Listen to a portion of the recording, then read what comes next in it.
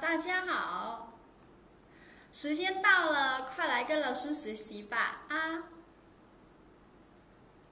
今天老师就讲给你们那个一个非常有意思的主题，那就是怎么才能说好汉语。我们就练练口语的。本来那个口语是比较难的一个技能，所以我们要多练。但是有很多人不知道怎么念的才能说好汉语，所以今天老师就给你们讲讲这个主题啊。那那个是一个很好的学习方法，希望你们通过老师的那个直播可以提高你们的口语能力。冰远你好，雷讨论 V 苏英元你好，金妈你好。Thu Hiền Vân Hoàng nhỉ hảo Quyên Nguyễn nhỉ hảo. Quyên Nguyễn còn còn là hi hi, yêu cô, Yêu con. Tụi má hở ai nhỉ? Ạ Thiều Ninh nhỉ hảo. Những bạn nào mà đang đang Vân Hoàng này hay là Thiều Ninh đang đánh bằng tiếng Việt ý, Thì mình gõ bằng tiếng Trung nhá. Chima cũng thế nhá. Đừng gõ Đừng gõ âm bồi nhá nhỉ hảo đừng gõ như thế. Hoặc là gõ chuẩn phiên âm hoặc là mình gõ chữ hán.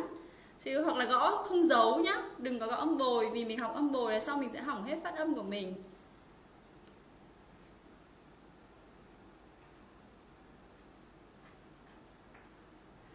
Hôm nay thì như đã hứa là cô sẽ vào một cái kỹ năng thứ tư trong cái series là dạy cách học. Đấy là kỹ năng nói. Uh, Sau nghe thì đến nói. Nghe là khó nhất nhưng mà nói thì thì ờ, không khó bằng nghe. Tuy nhiên thì kỹ năng nói lại cần thiết hơn trong cái cuộc sống hàng ngày. Nhất là những bạn nào mà dùng tiếng trung trong công việc thì cái việc uh, nói giỏi nói tốt là một lợi thế. Do đó hôm nay thì cô sẽ cung cấp cho chúng mình xem là cách làm thế nào để mình có thể tự luyện nói được mà nói tốt nhất có thể nhá. Cái chủ đề này chắc là cũng cũng có nhiều người nói rồi nhưng hôm nay thử nghe xem cô thủy hạnh có cái mẹo gì hay không có cái phương pháp gì hay hơn mọi người hay không nhá. Nguyễn Hoàn Nhĩ Hảo Chúng mình xem về tường sẽ hiểu cô về các group nhá Để cho nhiều bạn lên học với cô nhé.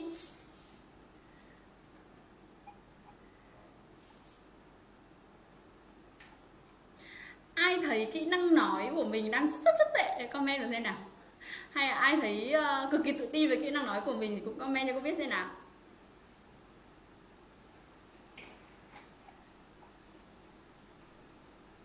Lan Nguyễn Nhã Khương Vương Hoàng thì họ. Nguyễn Thị Thúy Nhàn Nguyễn Hòa thì họ. Bình Anh Hằng Hà, Võ Huy Thuận Tiếng Liêng Vũ Phương Thu thì họ. Chị Hiền Nguyễn Văn Ngọc thì họ.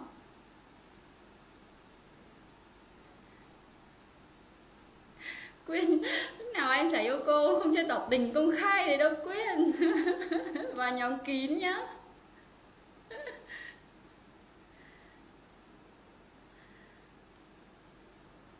Comment đi xem nào xem là mình nói thế nào. À có bạn phản hồi là cô ơi cái app chỉ của em hôm trước. À, cô giới thiệu em không tìm thấy. Thế à không tìm thấy app chỉ ở thế em thử tìm à, tìm một cái app gì tương ứng được nhỉ có ai hôm trước không tải được cái app chỉ không? Em dùng cái cái android hay là iphone ở huyền trang ơi. Ngọc Nguyễn vô tâm, em chỉ nói được vài từ. Nói thì không bao giờ gọi là từ nhá, đơn vị của nói phải là câu, chứ không có đơn vị nói là từ nhá.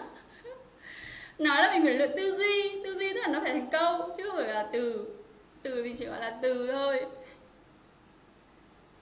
Michael Jean thì hảo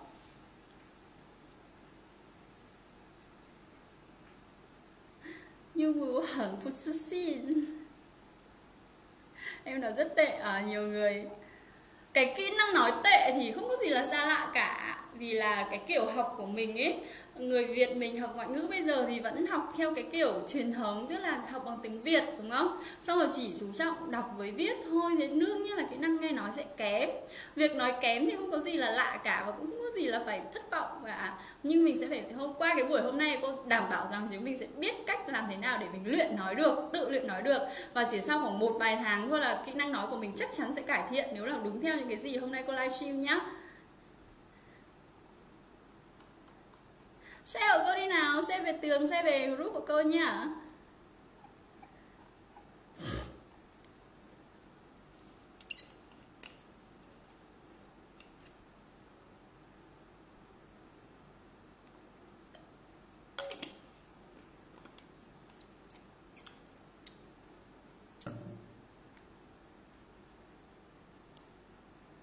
Cô sẽ vào bài nhé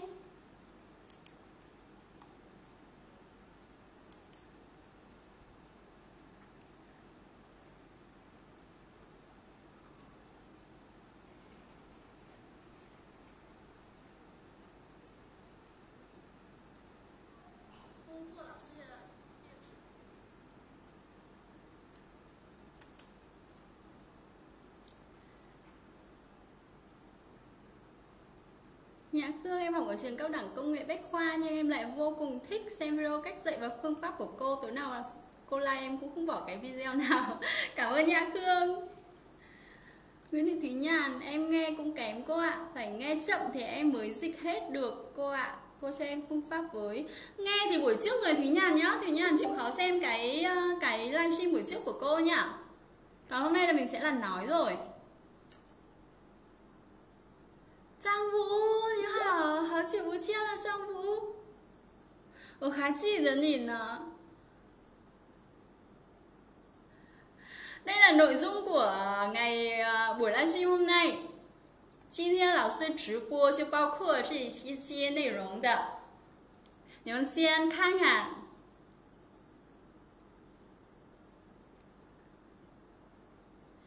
这些都是很有意思的内容。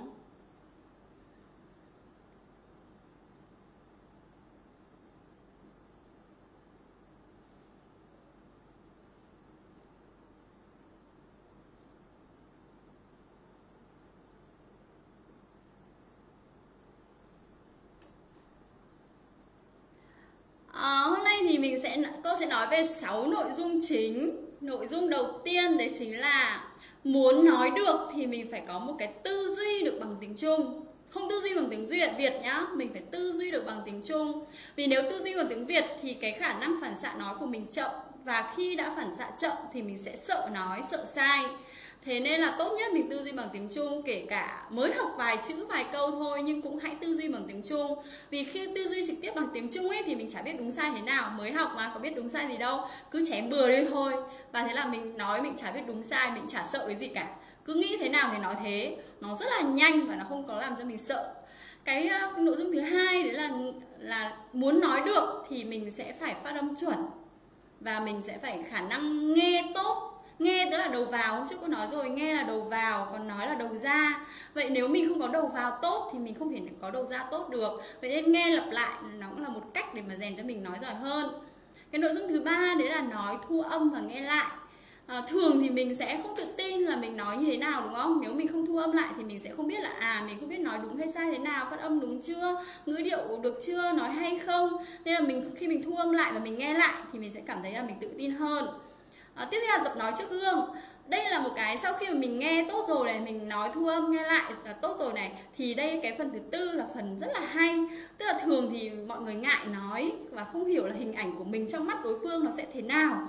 Ờ, gặp người lạ mình đã còn sợ nữa. Thì cái việc nói trước gương ấy nhìn vào hình ảnh của mình để nói ấy, nó cũng tạo cho mình được là một cái sự tự tin nhất định khi mà mình trình bày mình phải nói trước một đám đông hay trước những cái người khác à, cái thứ năm này chính là nếu mà học một mình nói một mình ý, thì mình sẽ chả chả hiểu được là là à, không thể nào mà có môi trường tốt được. Thế nên mình cần phải có một nhóm bạn hay một một người Trung Quốc hay một nhóm người Trung Quốc để mà người ta chỉnh cho mình và mình có hứng thú hơn. Nếu mình cứ lẩm bẩm một mình thì nó sẽ rất là là ngại đúng không? Hay là nản. Thì mình cái cái thứ năm ấy nó sẽ là ý thứ năm ấy nó sẽ làm cho mình có môi trường và mình sẽ hứng thú hơn với việc nói luyện nói. Và cái thứ sáu là cái quan trọng nhất và cô nghĩ là rất nhiều người muốn tập nói nhưng không biết là nói cái gì. Thì cái mục thứ sáu là cái mục mà cô nghĩ là cái buổi hôm nay nó sẽ là hay nhất ở cái mục 6 cô sẽ cho chúng mình 6 cái chủ đề 6 cái tài liệu để mình có thể dựa vào cái nguồn tài liệu đó nguồn tài nguyên đó và mình có thể nói bất cứ lúc nào mình thích. Ờ, nó rất là đơn giản nhưng mà chắc là ít người được tiếp cận với cái kiến thức của của ý 6 giờ mình sẽ bắt bài nha. Chúng mình share hộ cô về group đi nào.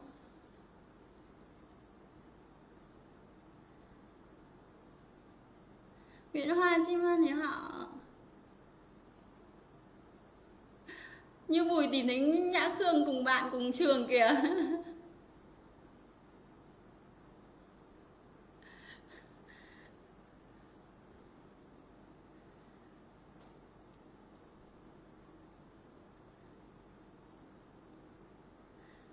Sẽ có một lần đi nhá. Để mình vào bài nhá. Bắt đầu vào nội dung chính rồi đây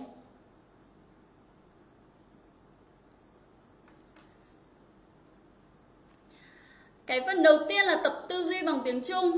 Đây là một mẹo mà mình bắt buộc phải biết. Nếu mà mình không biết được cái tập tư duy bằng tiếng Trung thì mình sẽ học ngôn ngữ, ừ, mình học tiếng Trung sẽ rất là vất vả và sẽ không tiến bộ nhanh được. Còn khi mà mình biết được cái mẹo để tập tư duy bằng tiếng Trung rồi thì mình học sẽ rất là nhẹ nhàng và cực kỳ nhanh tiến bộ, tiến bộ vượt bậc luôn trong thời gian ngắn thôi.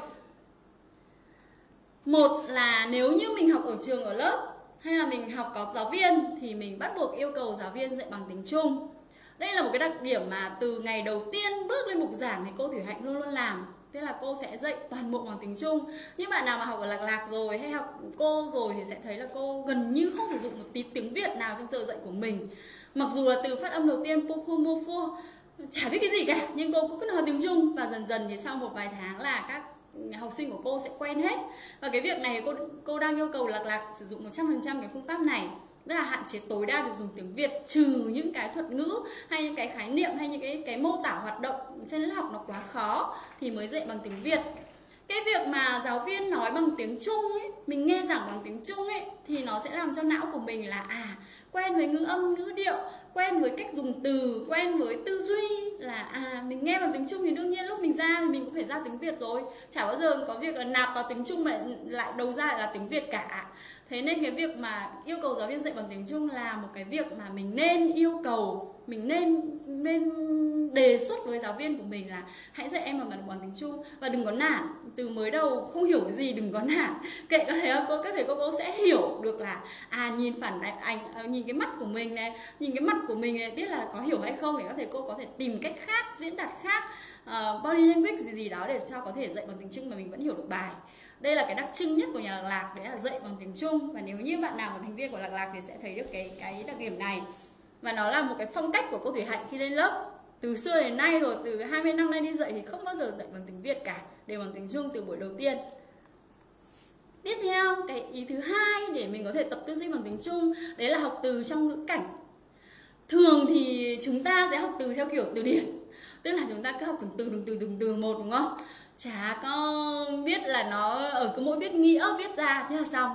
Nhớ được chữ, biết được nghĩa thế là xong. Không bao giờ nên học từ độc lập như thế nhá. Tuyệt đối đừng có học từ theo kiểu từ điển, cứ từng từ rời rạc, từng từ rời rạc, từng từ rời rạc.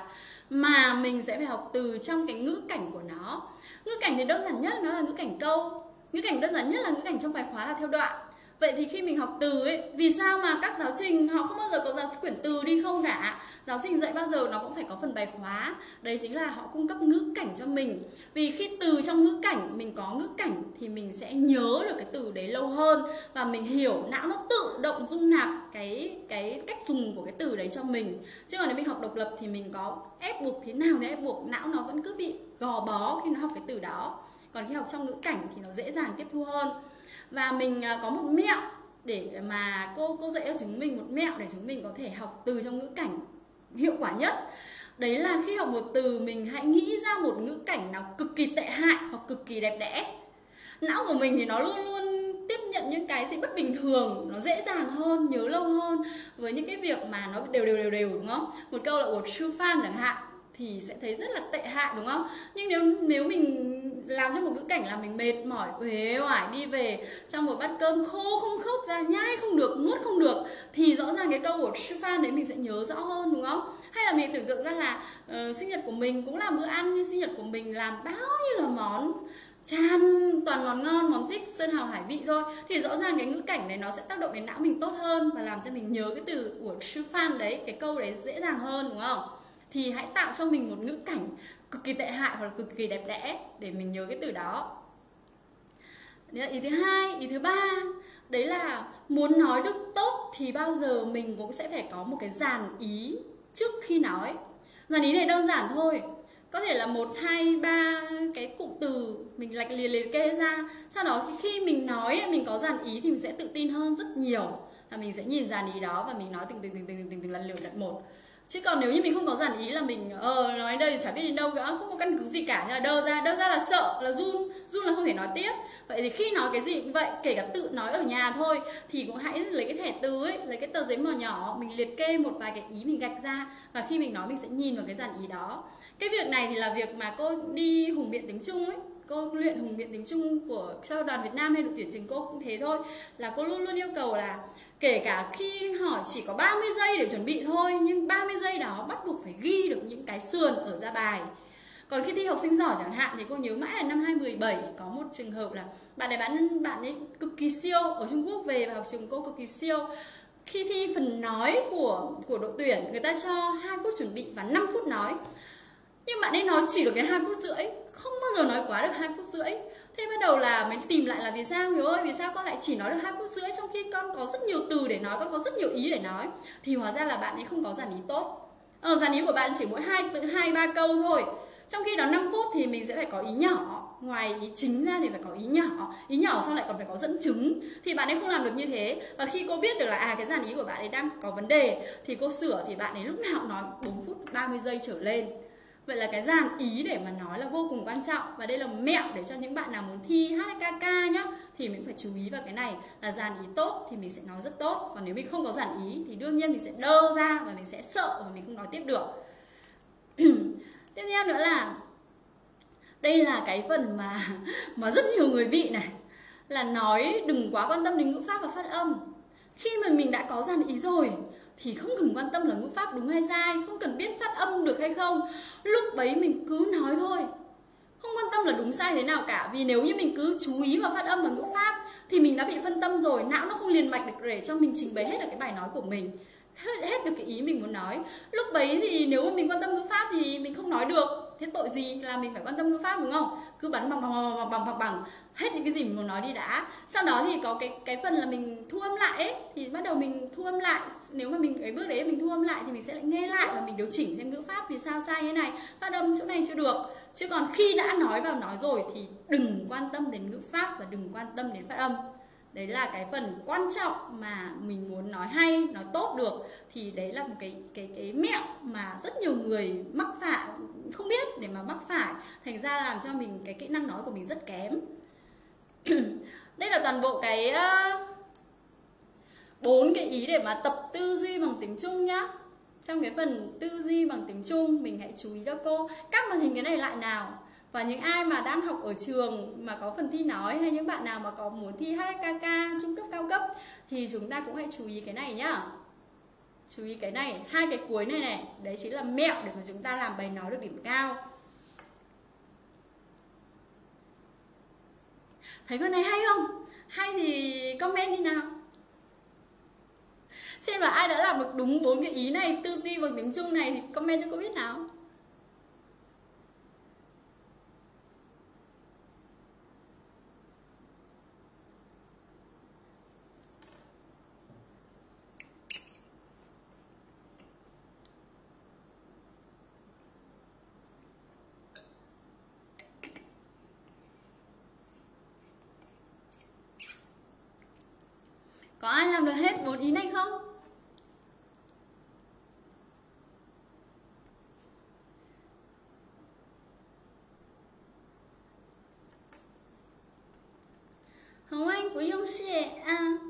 老师知道什么就传给你们什么了。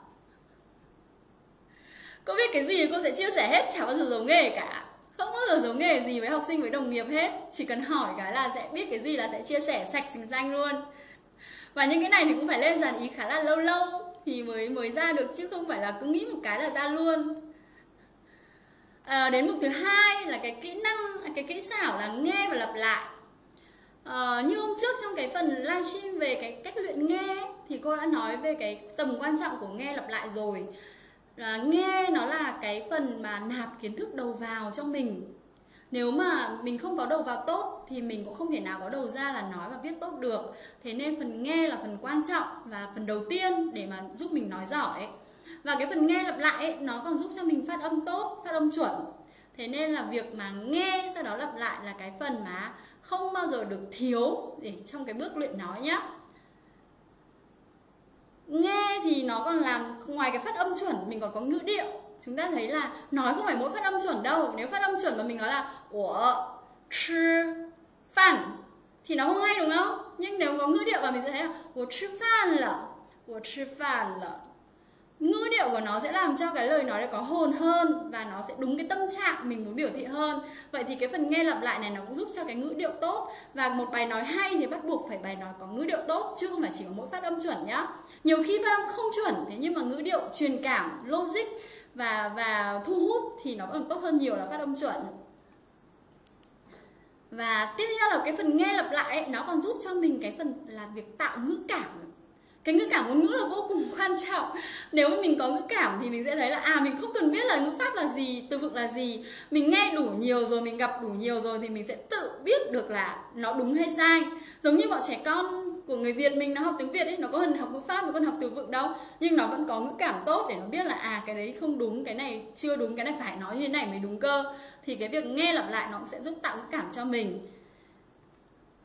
À, tiếp theo là nói và thu âm nói xong đó thu âm và nghe lại. Như lúc nãy cô dạy cái kỹ năng thứ tư trong phần phần uh, phần uh, tập tư duy bằng tiếng Trung ấy thì mình sẽ thấy có cái phần là cứ nói không ngừng quan tâm đến ngữ pháp và phát âm nhưng mà không thể để mãi thế được. Mình sẽ phải có cái bước là nói thu âm lại và nghe lại này để mình điều chỉnh là xem là à ờ, cái bài nói vừa rồi đấy của mình là mình nói hết ý rồi đúng không? Trình bày được hết cái dàn ý rồi. Thế nhưng mình sẽ phải nhìn lại xem là à ngữ pháp mình đang sai ở đâu? Phát âm mình đang sai ở đâu? Ngữ điệu cái chỗ này thì có được hay không? Chỗ kia có được hay không? Và cái đấy là điều chỉnh lại phát âm. Cái tiếp theo là cảm, giảm cái cảm giác sợ không biết mình nói thế nào. Cái thời mà thực ra thì cô mới lên youtube khoảng độ 2 năm nay thôi. Mới livestream được có hơn một năm thôi, còn lại youtube là được 2 năm. Thì thực sự là cái cảm giác nghe lại cái giọng của mình vô cùng là kinh khủng khiếp. Không bao giờ dám nghe lại cái giọng của mình. Vì cứ nghĩ là, ồ, sao nó củ chuối thế? Nó tệ hại thế? Nhưng sao mình nghe mãi rồi mình sẽ quen và cái việc mà không dám nghe lại giọng của mình thì chứng tỏ là mình cũng sợ nói đúng không? Mình cũng sợ nói. Và khi mình đã không còn thấy sợ cái giọng của mình nữa sợ cái bài nói của mình nữa thì rõ ràng là mình sẽ tự tin hơn để mình nói. Vậy cái bước là nói thu âm và nghe lại này cũng rất là quan trọng để cho cái việc mà mình nói giỏi tiếng trung nhé. Ờ, cái phần tập nói trước gương. Ờ, nhiều người thì sẽ bảo là vô vị đúng không? Giờ hơi giờ hấp cứ đứng trước gương làm gì? Nhưng mà cái việc đứng trước gương như lúc đầu tiên cô đã nói rồi đấy, là đây là bước đầu tiên để mình tập nói trước một người thứ ba. Mình tập nói trước đám đông thì mình phải nói trước mình đã. Mình không sợ nói trước mình đã thì mình mới nói được trước những người khác. Và khi mà nói trước người khác thì mình sẽ bị phân tán, đúng không? Mặt người ta cau cái chẳng hạn, người ta không hiểu, người ta cau mày cái chẳng hạn, hay là người ta mất tập trung cái chẳng hạn, hay họ họ tỏ thái độ gì đấy cái chẳng hạn là mình đã sợ mình không nói tiếp được rồi. Thì để mà loại bỏ cái cảm giác sợ nói trước người khác ấy thì mình sẽ nói trước gương mình nhìn thẳng vào mắt mình và mình trình bày. Khi mình nhìn thẳng mắt mình rồi mình đã bị phân tâm rồi mà mình vẫn nói tốt thì đương nhiên mình sẽ nói tốt được ở trước những người khác. Và cái việc nói trước gương đấy nó còn làm cho mình tự tin với bản thân. À ừ mình nói cũng được đấy chứ mình uh, cũng không đến nỗi nào đúng không? Uh, như cô livestream buổi đầu tiên thì cô thấy sợ lắm vì sợ một phần là ui không biết mình lên hình xấu hay là đẹp. Ờ, giọng của mình nó có ăn mic hay không? Ờ, run quá có nói được ừ, hết được cái ý mình hay không? Hay sợ nhất là cái việc mà vì run nên mình nói sai mình dạy sai học trò chẳng hạn. Thế nên cái việc mà những cái ngày đầu livestream đối với cô thực sự là kinh khủng khiếp. Khi mà mình cứ nhìn thấy cái mặt mình ở trên trên cái màn hình laptop và mình không biết là mình nói đúng sai thế nào chỉ sợ là fail với học sinh. Ờ, họ, học sinh hỏi cái này mẹ trả lời sai chẳng hạn thì họ sẽ đánh giá mình thế nào? Thì đấy là cái việc nói trước gương, nó sẽ làm cho mình tự tin với bản thân mình, tự tin với cái biểu cảm, với cái ngoại hình của mình, tự tin với cái giọng nói của mình, tự tin với cái nội dung mà mình trình bày. Thì cái việc tập nói trước gương là việc vô cùng quan trọng ở cái bước luyện nói nhá. Tiếp theo nữa là, đây là cái phần cũng quan trọng này. Nếu mà một mình thì thường sẽ không nói giỏi được đây là cô chia sẻ thật sự luôn, nếu một mình mình có lèm bèm cả ngày mà mình không có một đối tượng nào xung quanh mình để mà mình chia sẻ, thì mình cũng không thể nào mà giỏi xuất sắc ở nói được. Thế nên mình sẽ cần một nhóm bạn để luyện tập. Và bây giờ thì đơn giản, nhóm bạn có thể là nhóm bạn người Việt cùng trình độ hoặc là giỏi hơn. Cũng có thể là nhóm bạn, mình có thể tìm người Trung Quốc, bây giờ lên WeChat đúng không? Hay là lên mạng xã hội thì có rất nhiều nhóm. Ví dụ nhóm Xuế Yuen Á Hủy chẳng hạn. Trong đấy toàn người Trung Quốc thôi. Mình cũng có thể lên đấy để mình tìm những bạn để mình giao lưu. Và khi mà mình giao lưu thì mình sẽ thấy là à người ta sẽ chỉnh sửa cho mình, người ta sẽ động viên mình. Thường thì người Trung Quốc rất là khéo. Họ chẳng bao giờ chê cả. Họ thường nói là, ui, mày giỏi thế. Nói được một hai câu nhưng mà, ui, sao siêu thế? Thì mình sẽ được cảm thấy là có động lực và mình có bạn để cùng tiến, có bạn để sửa cho mình. Thì cái việc tìm người Trung Quốc cũng là, hay tìm một nhóm bạn luyện tập cũng là phần quan trọng nhá.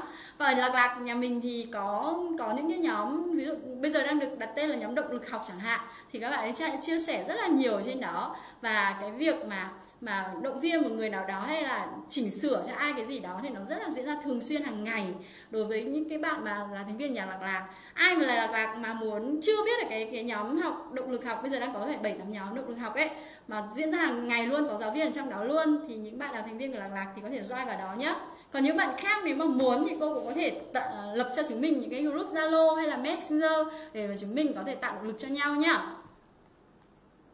cái phần này là phần quan trọng nhất buổi hôm nay này đây là phần mà mà hay nhất của buổi hôm nay và là tâm huyết nhất của cô thủy hạnh trong buổi hôm nay nhá. Đấy là mình nói cái gì? Nói cái gì? Thường thì chả biết luyện nói thế nào, đúng không? Em muốn nói lắm nhưng không biết luyện thế nào cả. Vậy thì như này, mình sẽ là nói cái gì? Có ai biết là mình nói cái gì không? Thử đánh máy xem nào.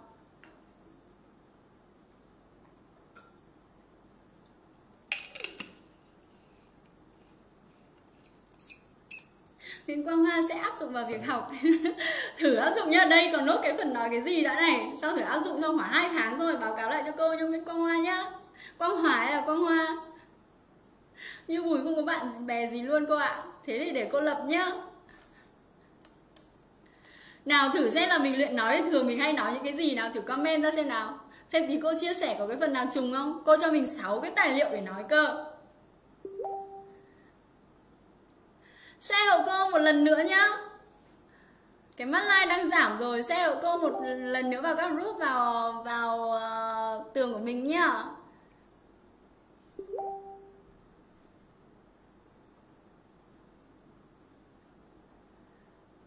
Định Tiến ơi con lên rồi đấy à? Hôm nay Tiến có nhận được live, ừ, thông báo livestream của Tuma không? Hiền Nghĩa là nói theo chủ đề Ờ cái nói theo chủ đề thì thì ai cũng nghĩ là nói theo chủ đề nhưng cực kỳ khô khan. Và ít người làm được cái việc nói theo chủ đề, trừ khi mà vào môn học chuẩn bị để thi.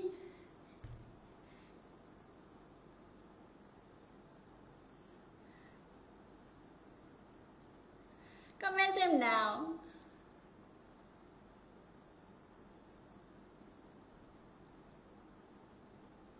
Linh linh, cô em ở ở Trung Quốc muốn học on thì làm như thế nào ạ? À? Và Trung Quốc thì ít khi on được Facebook ạ. À.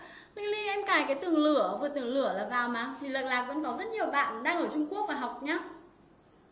Còn nếu không thì em có thể theo lớp online 11 của nhà lạc để học trên nền tảng gì cũng được. Rồi bây giờ trình bày vào phần hay nhất nhá. Một cái tài liệu nói là mình biến tất cả cái phần bài tập nghe, đọc, hiểu, trả lời tình huống trong sách thành trả lời miệng tức là bình thường mình sẽ viết, đúng không? Cắm cúi viết viết, hay bài tập nghe là khoanh khoanh khoanh khoanh, đúng không? Hay bài đọc hiểu thì phán đoán đúng sai, tích tích tích tích cái. Thì bây giờ mình thay vì mình viết, thì mình hãy là nói thành trả lời miệng. Ờ đây là một cái đơn giản, đúng không? Bao giờ mình cũng làm bài tập mà. Thì hãy làm bài tập bằng cách là trả lời miệng. Và cái việc trả lời miệng ấy nó sẽ khó khăn hơn rất là nhiều. Vì khi mình viết ấy thì nó sẽ chậm hơn và mình não mình nó có tư duy lâu hơn. Còn khi mình nói là phản xạ phải ngay lập tức. Nên là cái việc mà trả lời uh, bằng miệng đấy nó cũng sẽ giúp cho tư duy nói được kích hoạt. Đây là phần đơn giản đúng không? Và ai cũng có thể làm được. Ai cũng học theo giáo trình cả. Chả có ai cũng học theo giáo trình đúng không? Đều phải có giáo trình hết thì mình biến hết cái này thành trả lời miệng. Cái phần thứ hai cũng đơn giản cái này sẵn sàng nói lại nội dung bài khóa vừa học. Ờ, thay vì đọc thay vì đánh máy thì mình hãy tự nói à, mình nhớ lại được tình huống. Không cần phải nói theo đúng cái chất tự bài khóa nhá. Mình nhớ được câu nào mình nói câu đấy. Không cần phải kết nối gì cả. Cứ nhớ được bài khóa hôm vừa rồi học cái gì nói từng câu từng câu đơn lẻ. Đấy là bước đầu tiên. Sau khi mình nói đơn lẻ chán chê rồi thì mình bắt đầu mới sau một vài tháng mình quen rồi bắt đầu mình sẽ nói có logic. Và khi muốn nói có logic thì mình lại làm dàn ý để cho nó có logic. Còn không thì cứ nghĩ được cái gì nhớ được câu gì là nói câu đấy. Tiếp theo này, là tự đặt câu hỏi rồi tự trả lời. Cái này câu hỏi về mông lung, thích cái gì cũng được. Tự nghĩ ra một câu hỏi vớ vẩn gì đấy cũng được và tự trả lời.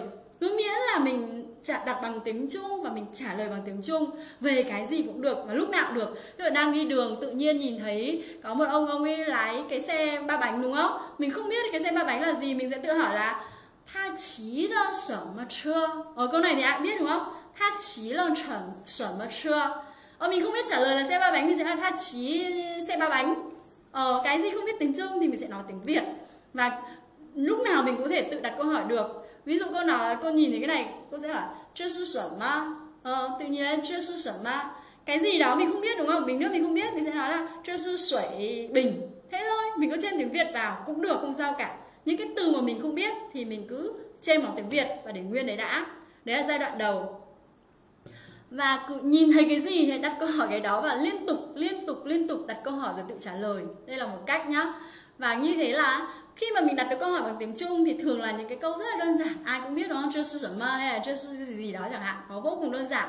Và khi mình đặt được câu hỏi rồi thì não của mình nó sẽ nghe câu hỏi bằng tiếng Trung và nó sẽ tự tư duy cho mình trả lời bằng tiếng Trung. Cái từ nào là ô chấm ngôn ngữ, tức là mình chưa biết cái từ đó bằng tiếng Trung thì mình hãy đệm nó vào bằng tiếng Việt giai đoạn đầu không làm sao cả mình cứ đệm cái từ đó bằng tiếng Việt còn những cái khác mình dùng tiếng Trung là ok cái phần thứ tư đấy là mình hãy miêu tả những thứ xung quanh mình à, đang ngồi thế này mình sẽ miêu tả xung quanh thôi ví dụ hôm nay mình học về màu sắc đúng không bài hôm nay mình học về màu sắc thì mình sẽ nói à, 这是黄色的嗯呃这个是绿色的嗯这这个这个是公主是红色的 我有一个那个红色的工作，刘明月的工作。等一下啊，我有一个后面的，灯笼么？我有一个红色的工作。等老师，嗯，这支笔是什么颜色的？这支笔是黑色的。我有一支黑色的笔。哦，为了，民工没有打，你该送送官兵。哦，那民工咋个拿？我们嗯，今天你穿呃，我穿什么呢？我穿了一件那个黑色的。嗯。衣服上面有那个红白绿 đó nhìn thấy cái gì thì miêu tả xung quanh mình cái đó và ví dụ hôm nay học về chủ đề này thì mình sẽ thiên về cái chủ đề đó ví dụ như mình hôm nay mình học về hỏi về nói cho giá tiền chẳng hạn ờ, thì mình sẽ lấy cái ví của mình ra xung quanh mình có cái ví đâu mình sẽ đếm là y khoai两块一千一万gì đó mình đếm và mình sẽ nói là 我我有一个钱包，钱包里有一张一千，有两张一万。Vậy là mình có đã nói được một bài rất là dài rồi và cứ dần dần dần dần dần mình kết nối dần nối dần nối dần như thế nó là những câu đơn giản nhưng nó sẽ luyện cho mình được cái tư duy nói bằng tiếng trung và miêu tả những thứ xung quanh thì nó rất là gần gũi nên là nó không có gì là nhàm chán hay là khó khăn với mình cả và nếu mình thích thì mình có thể tra từ hôm nay mình sẽ học thêm một từ này ngày mai mình sẽ học thêm một từ khác và nó vào đầu mình một cách rất là tự nhiên. Thì mình sẽ nói tốt hơn và nói không sợ gì cả. Cái phần tiếp theo nữa là miêu tả việc mình đang làm. Mình đang làm cái gì thì mình sẽ miêu tả lại cái đó.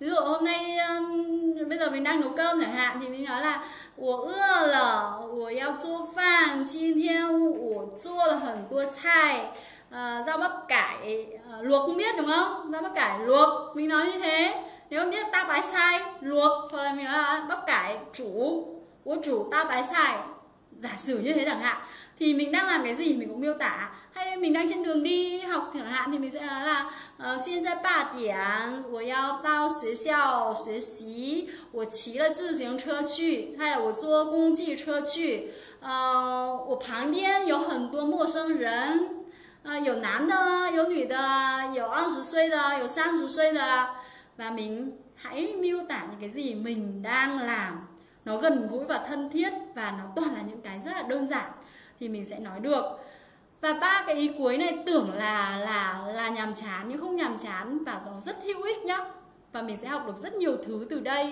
nó sẽ tạo cho mình thói quen nói tiếng Trung tư duy tiếng Trung và từ đó thì mình sẽ cứ ngày ngày ngày tích lũy lại tích lũy lại tích lũy lại thì mình sẽ nói được những bài dài hơn những bài khó hơn những chủ đề khó hơn nữa đấy là toàn bộ cái mà mình nói cái gì hay như hôm trước cô dạy chúng mình là phần nghe mình có phần là xem show truyền hình đúng không thì mình có thể dừng lại mình đang xem mình sẽ dừng lại mình miêu tả cái show đấy là uh, 这个 show 有五个男男生有六个女生男生穿了都穿牛仔裤 gì gì đó, mình dừng lại. Hay là mình xem phim cũng vậy. Mình xem phim xong mình dừng lại, mình nói một đoạn, mình vừa xem xong.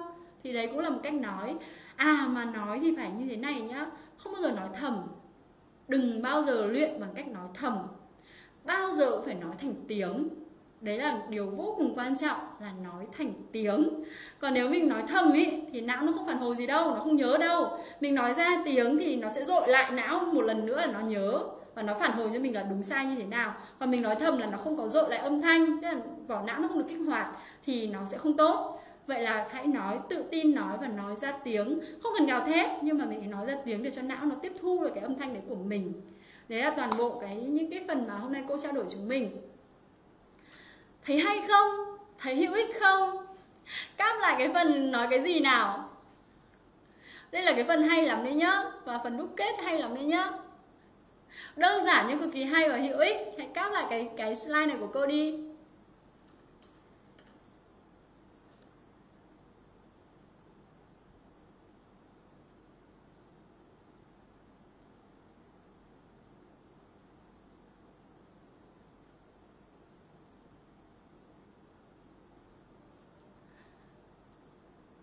Nói lặp đi lặp lại được không cô chưa hồng trang nói lặp đi lặp lại được không cô? Cũng được thế nhưng mà nó rất là nhàm chán trang ạ. Nên nghe thì lặp đi lặp lại được chứ còn nói mà lặp đi lặp lại thì không cần thiết. Mà nếu em muốn lặp đi lặp lại thì em dùng cái bước là nói thu âm ấy. Nói thu âm lại ấy, xong mình nghe lại thì mình đỡ phải lặp đi lặp lại đúng không? Mà khi mình nghe lại ấy, thì mình sẽ biết được nhiều cái phần kình mình cần chữa hơn là mình cứ lặp đi lặp lại. Em không biết nói gì. Trần lan hương đấy vừa cho năm cái nói cái gì đây này? Linh Linh, em cảm ơn cô ấp từ lửa em chưa biết đến ạ. À. Dạy một một là cô dạy hả cô em biết cô dạy thôi. Linh Linh là cô chỉ bây giờ cô chỉ dạy miễn phí rồi nhá. Chuyên gia đi dạy miễn phí gom những lớp 20 người cho lạc lạc sang cũng dạy miễn phí chứ không dạy thu tiền bao giờ ở nhà lạc lạc thì cô thủy hạnh tuyển giáo viên rất là là là kỹ tính thế nên giáo viên của nhà lạc lạc thì chưa có một ai mà mà bị chê trách một cái gì cả cho đến năm nay là năm thứ năm là Lạc tồn tại thì chưa có một giáo viên nào bị phản hồi xấu cả. Và điểm đánh giá của giáo viên nhà Lạc Lạc thì toàn 90 90 trên 2 trở lên trên 100 nên là yên tâm tuyệt đối về cái giáo viên có thể hạnh tuyển nhá.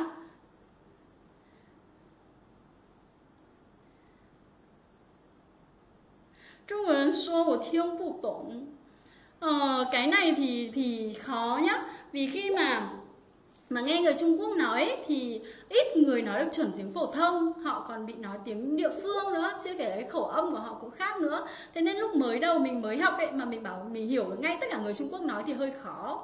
Nên là phần nghe hôm trước cô cũng dặn chúng mình rồi là mình hãy tìm những cái nguồn nghe nó chuẩn để mà mà nó phù hợp với cái giai đoạn mình mới học. Còn khi mà mình đã xem show truyền hình rồi, tức là cái tiếng nói là không có môi trường phòng thu, giọng không chuẩn, thì cái đấy là sát với thực tế rồi thì đến giai đoạn sau. Còn giai đoạn đầu thì khó nhá.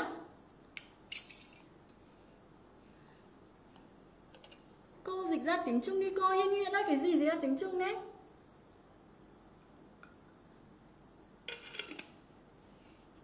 Quý Nguyễn cô, em nhận ra em có tài năng diễn xuất phim bẩm, cứ thấy mấy cái thoại phim Trung Quốc hay là lại nhập vai nói như đúng rồi, mặc dù chả hiểu cái gì.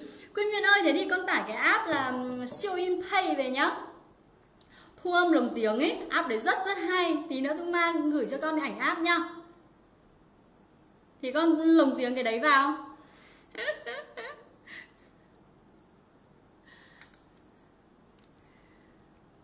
Nào, cùng nhìn lại nào. Cùng nhìn lại buổi hôm nay nhá. Để mà luyện nói giỏi được thì mình sẽ cần chú ý 6 ý. Một là tập tư duy bằng tiếng Trung hai là nghe và lặp lại ba là nói thu âm và nghe lại bốn là nói trước gương năm là tìm người Trung Quốc hoặc là một nhóm bạn để cùng luyện tập. À, và nếu như khó khăn quá thì inbox để lạc lạc sẽ mở cho các em những cái nhóm để mình cùng luyện tập nhé và sáu là cái tinh hoa của ngày hôm nay đấy chính là nói cái gì cái tài liệu để mình nói cái nguồn nguồn nội dung để mình có thể nói nói ở đâu cũng được nói lúc nào cũng được nói luyện nói 24 trên 7 cũng được. Với cái nguồn này thì không có cái gì là là là khó khăn để khi mình tập nói tiếng Trung cả nhá.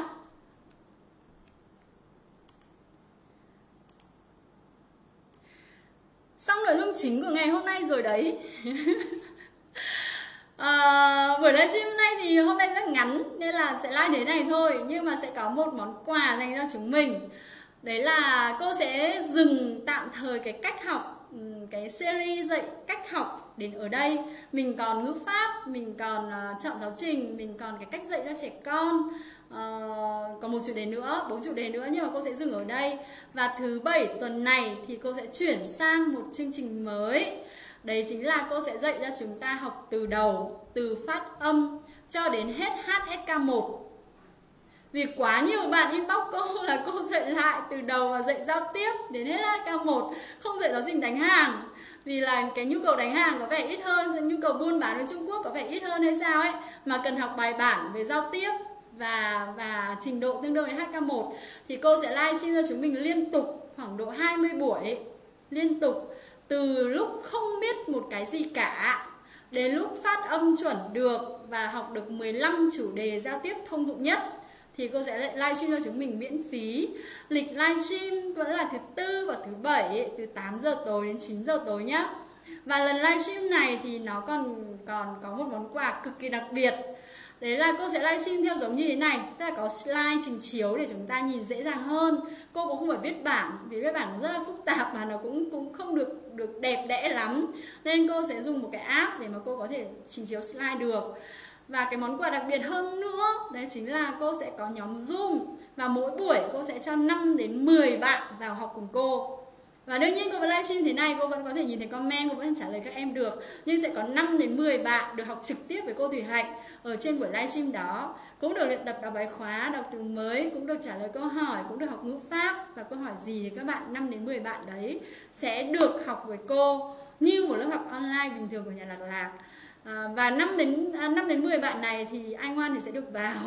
Ngoan theo buổi chứ không phải là ngoan hết trong 20 buổi. Và à, để mà làm được cái cái việc mà vào lớp học của cô trên Zoom học trực tiếp với cô thì cô sẽ có thông báo quy định à, vào buổi hôm sau nhé trước thứ bảy. Thứ bảy mình sẽ bắt đầu. Thứ bảy mình sẽ học bài ngữ âm đầu tiên.